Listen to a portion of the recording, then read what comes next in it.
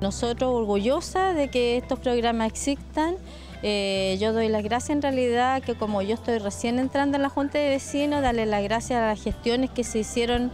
eh, la directiva saliente, eh, principalmente a la municipalidad y a, los vecinos organizados, también a carabineros que también están encargados de esto y en realidad a mí me encantaría que esto se pudiera seguir haciendo con la, otros espacios que hay eh, públicos que están abandonados y que en realidad necesitamos recuperar. Así que ahora yo voy a conversar con los vecinos para poder eh, organizarnos y volver a postular alguna de estas placitas que quedan muy hermosas y obviamente le dan un realce a, nuestra vivienda y a nuestra población.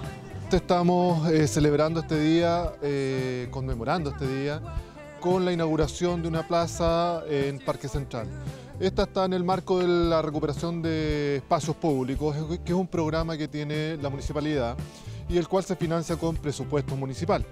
Eh, hay una cuenta presupuestaria que está destinada a la recuperación de espacios públicos y eh, entregarle a la comunidad un espacio donde puedan reunirse, donde los eh, niños puedan jugar y en el Parque Central precisamente esta es la recuperación que hoy día hemos hecho con un monto aproximado de 2 millones de pesos.